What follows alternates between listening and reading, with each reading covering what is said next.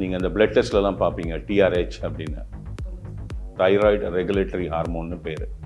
இதை வந்து posterior part of pituitary cells தான் தயாரிக்கும். இதில் ஹைப்போதாலமஸும் இன்வால்வ்டு அது வந்து தைராய்டு ஸ்டிமுலேட்டிங் ஹார்மோனாக மாறும். அதுதான் டிஎஸ்ஹெச்னு பார்ப்பீங்க பிளட் டெஸ்ட் டிஐடினா டை அயோடைன் தைராக்சின் டைனா ரெண்டு.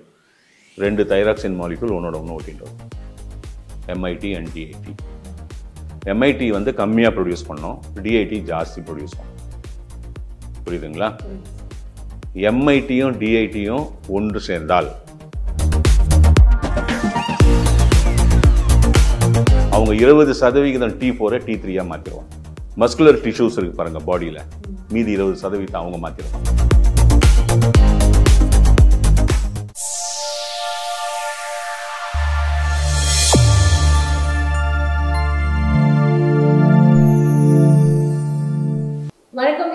நேர்களே டாக்டர் சி கே நந்தகோபால் அவருடைய யூடியூப் சேனலுக்கு உங்க எல்லாரையும் அன்புடன் வரவேற்கிறோம்.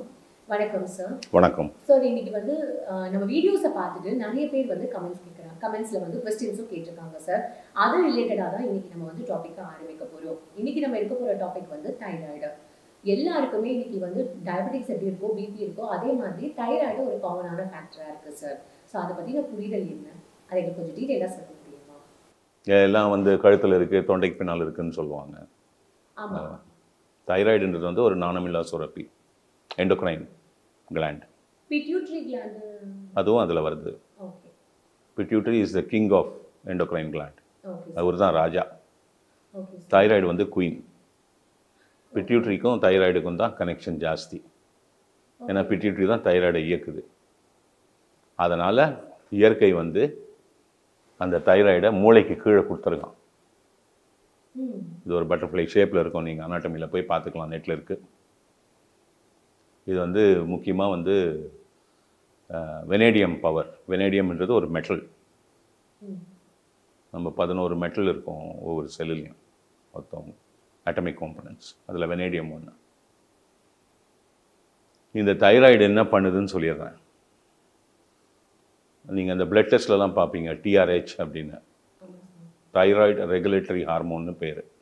இது வந்து posterior part of pituitary cells தான் தயாரிக்கும். இதில் ஹைப்போதாலமஸும் இன்வால்வ்டு அது வந்து தைராய்டு ஸ்டிமுலேட்டிங் ஹார்மோனாக மாறும். அதுதான் டிஎஸ்ஹெச்னு பார்ப்பீங்க பிளட் டெஸ்ட்டில் ஏன் இது மூளைக்கு கீழே கொடுத்துருக்குதுன்னா அது குயிக்காக வரணும் அதுக்கு. அதனால தான் அந்த ஒரு சுரப்பியை மட்டும் இயற்கை மூளை கீழே கொடுத்துருச்சு கரெக்டாக நீங்கள் போய் அனாட்டமியில் பார்க்கலாம். எவ்வளோ ஷார்ட்டாக இருக்குது மூளை கீழேன்னு. ஏன்னா சென்டர் ஆஃப் த பிரெயினில் பிட்யூட்ரி இருக்கும். இந்த டிஎஸ்ஹெச்சை வந்து தைராய்டு ரிசீவ் பண்ணும். ரிசீவ் பண்ணி இதுதான் stimulating hormone thyroid stimulating hormone அந்த தைராய்டு உயிரணுக்களை ஊக்குவிக்கும். அப்போ வந்து இது ரெண்டு பொருள் தயாரிக்குது. இந்த டிஎஸ்ஹெச்சை ரிசீவ் பண்ணி ரெண்டு பொருள் தயாரிக்குது. ஒன்று வந்து எம்ஐடி இன்னொன்று வந்து DIT எம்னா mono iodine thyroxine okay single molecule டிஐடினா di iodine thyroxine டைனா ரெண்டு. ம் ரெண்டு தைராக்சின் மாலிகுல் ஒன்னோட ஒன்று இருக்கும். எம்ஐடி அண்ட் டிஐடி எம்ஐடி வந்து கம்மியாக ப்ரொடியூஸ் பண்ணோம். டிஐடி ஜாஸ்தி ப்ரொடியூஸ் பண்ணோம். புரியுதுங்களா? எம்ஐடியும் டிஐடியும் ஒன்று சேர்ந்தால் ஒன்று ரெண்டு. டி த்ரீ டிஐடியும் டிஐடியும் நிறைய நிறைய டிஐடி இருந்தால் டிஐடி டிஐடி ஒன்று சேர்ந்தால் டி ஃபோர் ஸோ தொண்ணூறு சதவிகிதத்துக்கும் அதிகமாக டிஐடி டி டி ஃபோர் வரும். டி ஃபோர் ஹார்மோன் பத்து சதவீதம் இல்லை அதுக்கு குறைவாக டி த்ரீ ஹார்மோன் கிடைக்கும். இந்த T three T four hormone ரெண்டும் இருக்குது பாருங்கள் இதுக்கு பிளட்டில் ட்ராவல் பண்ண தெரியாது. பிளட்டுக்கு வரணுமே அவர். ஸோ தைராய்டு பைண்டிங் புரோட்டீன் ஒன்று இருக்குது டிபிபின்னு அதை பிடிச்சிங்கன்னா ரத்தத்தில் வந்துடும் டி த்ரீ தான் ஸ்மார்ட்டாக வேலை செய்யும். டி ஃபோர் வந்து லேசி ஆனால் தொண்ணூறு சதவீதம் இல்லை அதுக்கு மேலே டி ஃபோர் தான் நமக்கு கிடைக்குது. சரியா? இப்போ கல்லீரல் இருக்கு பாருங்க. ஆ. ரத்தத்தில் வந்துடுச்சு இல்லை? கிட்டத்தட்ட ஒரு நூறு டி ஃபோர் வருதுன்னு வச்சுப்போம். அறுபது சதவிகிதம் டி ஃபோரை ஒரு மாலிக்யூலை எலிமினேட் பண்ணி டி த்ரீயாக மாற்றி கொடுத்துரும். இன்னும் நாற்பது சதவீதம் இருக்குது வயிற்றுக்குள்ள அந்த கட் ஃப்ளோரா இருக்குது இல்லை? நுண்கிருமிகள் லாக்டோபாசிலஸ் பாக்டீரியாஸ் அவங்க இருபது சதவிகிதம் டி ஃபோரை டி த்ரீயாக மாற்றிடுவாங்க ஓகேயா. மஸ்குலர் டிஷ்யூஸ் இருக்கு பாருங்க பாடியில். மீதி இருபது சதவீதம் அவங்க மாற்றிடுவாங்க டி ஃபோர் அனைத்தும் உங்களுக்கு டி த்ரீயாக மாற்றப்படும் புரிஞ்சுதுங்களா? இப்போ டி த்ரீயோட வேலை என்ன? T three is an important component ரொம்ப ரொம்ப முக்கியத்துவம் வாய்ந்த ஒரு காம்பனண்ட் தைராக்சின் த்ரீ இதுக்கு பேர். இப்போ தைராய்டு வந்து நல்ல சுகாதாரமாக இருக்க வேண்டும் என்றால் அதுக்கு வந்து உங்களுக்கு அயோடின் வந்து முக்கியமான ஒரு உணவுப் பொருளாக தேவைப்படுது இல்லைங்களா. அதுதானே நீங்கள் சொல்கிறீங்க அந்த அயோடின் நமக்கு சாப்பாட்டில் இருக்குது ஓகேயா. அயோடைஸ் சால்ட் நீ சாப்பிடணும்னு அவசியம் கிடையாது. கிடையவே கிடையாது. நம்ம சாப்பிட்ற சாப் கொஞ்சோண்டு அயோடின் இருந்தால் போதும் நமக்கு. புரிஞ்சுதுங்களா? நாங்க டேஸ்ட்டுக்காக தானே சார். டேஸ்ட் அயோடின் டேஸ்ட்லாம் கொடுக்காது உனக்கு. உப்புன்றது வந்து கரிப்புமா? அயோடினுக்கும் உப்பு டேஸ்ட்டுக்கும் சம்மந்தமே கிடையாது. புரிஞ்சுதுங்களா? அது வந்து ஒரு மித்து தான். அதை பற்றி நம்ம இங்கே பேசுவோம் நம்ம தைராய்டு பற்றி பேசிகிட்டு இருக்கோம். இந்த டி த்ரீ இப்போ எதுக்கு பயன்படுது? டி த்ரீ இருந்தால் தான் உன் உடல் மொத்தம் இயங்கும். டி த்ரீ இல்லைன்னா இயங்காது. இந்த ரேட் ஆஃப் மெட்டபாலிசம்னு சொல்கிறாங்கல்ல மெட்டபாலிசம்னா அனைத்து ரசாயன பரிமாற்றமும் நிகழ வேண்டுமென்றால் இந்த தைராக்சின் த்ரீ வேணும். உன் குளுக்கோஸ் மெட்டபாலிசத்துக்கும் இதுதான் உன் கால்சியம் பொட்டாசியம் சோடியம் மெட்டபாலிசம் எல்லாத்துக்கும் இதுதான்.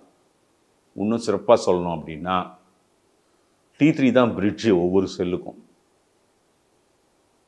உனக்கு செல்லு வந்து சிக்னலிங் சிஸ்டமில் தான் வேலை செய்யும். அந்த சிக்னலிங் சிஸ்டம் ஜாஸ்தி ஆயிடுச்சுன்னா அதை டவுன் பண்ணி கொடுத்துரும் டி த்ரீ மாடுலேஷன் கம்மியாக இருந்ததுன்னா ஸ்டெப் அப் பண்ணி கொடுக்கும் ஆம்ப்ளிஃபை பண்ணி கொடுக்கும். பவர் பிரிட்ஜும் அவர் தான் கரெக்டாக அந்த டுவெண்ட்டி மிலிபிள்ஸ் பவர் வரணும் செல்லுக்கு அவர் அதுவும் அவர் தான் இப்போ என்ன ஆகுதுன்னா ஒரு ஹார்ட் ஒரு லங்கு ஒரு லிவர் உள்ளுறுப்புகள் ரத்த இயக்கம் கார்டியோவாஸ்குலர் சிஸ்டம் மூளையின் இயக்கம் அனைத்து உயிரணுக்களும் சிறப்பாக இயங்க வேண்டும் என்றால் உங்களுக்கு டி த்ரீ வேணும். இந்த T three T four T three conversion இருக்கு பார்த்தியா இது வந்து ரொம்ப முக்கியம். அந்த அந்த கன்வர்ஷன் வந்து உனக்கு வரணும். இல்லைன்னா டி ஃபோர் வேலை செய்யாது. அப்போ வந்து உன்னுடைய கல்லீரலினுடைய ஆரோக்கியம் வந்து அற்புதமாக இருக்கணும். தைராய்டு நல்லா வேலை செய்யுது. T four T three produce பண்ணி அனுப்பிச்சிடுச்சு ஓகே கட் ஃப்ளோராவால் கொஞ்சம் தான் டி ஃபோரை டி த்ரீயாக மாற்ற முடியும். மஸ்குலர் டிஷ்யூவால் கொஞ்சம் தான் பண்ண முடியும். கல்லீரல் தான் மெயினாக பண்ணணும் உன் கல்லீரல் அடி வாங்கிடுச்சுன்னா என்ன ஆகும்? அறுபது percent T T four T three கன்வர்ஷனில் ஒரு நாற்பது பர்சன்ட் ஐம்பது பர்சன்ட் அடி வாங்கிடும். அடி வாங்கிச்சுனாலே நீ ஸ்லோ ஆகிடுவ ஓகே. இப்போ ரொம்ப வயசானவங்க இருக்காங்கல்ல ஒரு தொண்ணூறு வயசுக்கு மேலெல்லாம் அவங்களோட மூமெண்ட்ஸ் எல்லாம் ரொம்ப ஸ்லோவாக இருக்கும். ஒரு கொஞ்சம் எழுந்து ஒரு பாத்ரூம் போனால் ரொம்ப டைம் ஆகும். ஓகே உடல் அளவில் அவங்க ஸ்ட்ரக்சரெல்லாம் அவங்களுடைய இதெல்லாம் கொஞ்சம் நலிவடைஞ்சிருக்கும். இல்லைன்னு சொல்லலை. செல்ஸ் குறைஞ்சி போகுது. அப்போ உங்களுக்கு வந்து T four T three conversion ரொம்ப கம்மியாயிடும். டி த்ரீ ரொம்ப குறைவாக இருக்கும் அவங்களுக்கு. அதனால் இயக்கங்கள் குறைய ஆரம்பிக்கும்.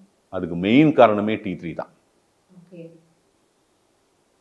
இவர் ஒருத்தர் இவர் ஒருத்தர் தான் இவர் இவர் இவர் இவர் இவர் இவர் இல்லைன்னா அந்த டி த்ரீ இல்லைன்னா உன்னுடைய இயக்கங்கள் உன்னுடைய ரேட் ஆஃப் மெட்டபாலிசம் எல்லாமே அடி வாங்கிடும். உள்ளுறுப்புகளின் செயல்பாடு அந்த சீரான அந்த ரிதமிக் ஃபங்க்ஷன் எல்லாமே போயிடும். அவ்வளவு முக்கியத்துவம் வாய்ந்தது தைராய்டு. இது இப்படி தான் வேலை செய்யுது. Okay? TRH TRH is converted to TSH TSH வந்து உங்களுக்கு எம்ஐடி டிஐடி ப்ரொடியூஸ் பண்ணுது. அதுலேருந்து டி த்ரீ டி ஃபோர் வருது. அது தைராய்டு பைண்டிங் ப்ரோட்டீனை பிடிச்சி இந்த அர்த்தத்தில் வருது. அந்த டி ஃபோர் அறுபது சதவீதத்துக்கு மேலே லிவர் வந்து பிரித்து மாற்றி கொடுக்குது டி த்ரீயாக அந்த சம உ- இருக்கக்கூடிய அந்த நுண்கிருமிகள் இருபது பர்சன்ட்டையும் உடலில் இருக்கக்கூடிய தசைப்பகுதிகள் இருபது பர்சன்ட்டையும் மாற்றி எல்லா டி த்ரீயும் டி ஃபோரையும் டி த்ரீயாக மாற்றி கொடுக்குது. இந்த டி த்ரீ வந்து உடலின் அனைத்து இயக்கங்களுக்கும் எல்லா இயக்கமும் உன்னுடைய சருமம் தோல் வரைக்கும் நடக்கக்கூடிய அனைத்து இயக்கங்களுக்கும் டி த்ரீ இல்லாமல் முடியாது. புரிஞ்சுக்கினியா? இதுதான் தைராய்டு ஸோ தைராய்டு பற்றி எவ்வளோ இன்ட்ரெஸ்டிங்கான டாபிக் வந்து போயிட்டு இருக்கு இல்லையா? ஸோ இது ஜஸ்ட் ஸ்டார்டிங் இன்னும் நிறைய எபிசோட்ஸ் உங்களுக்காக வெயிட்டிங் மறக்காம அடுத்த எபிசோட பாருங்க. மீண்டும் அடுத்த வாரம் உங்களை வந்து மீட்பற்ற அதுவரை அது வரை உங்களிடமிருந்து விடைபெறுவது உங்கள் நம்பர் தான்